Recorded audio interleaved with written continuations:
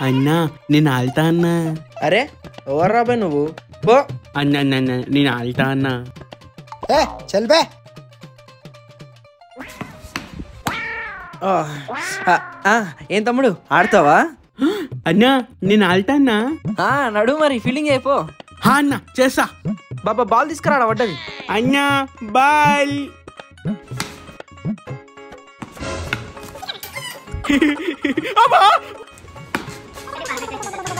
Full happy. అన్నా catch! అన్నా sorry అన్నా అన్నా నేను ఆల్తా. నేను ఆల్తా! అన్నా నేను ఆల్తా అన్నా ఇప్పుడు. ఎవరు తమ్ముడు నువ్వు? ఎక్కడుంటావు? అన్నా నేనన్నా ఇంతసేపు ఫీలింగ్ చేసా కదా. ఓకే మాకు పని ఉంది అర్రే పడుకుందాం. అన్నా అన్నా అన్నా ప్లీజ్ అన్నా అన్నా.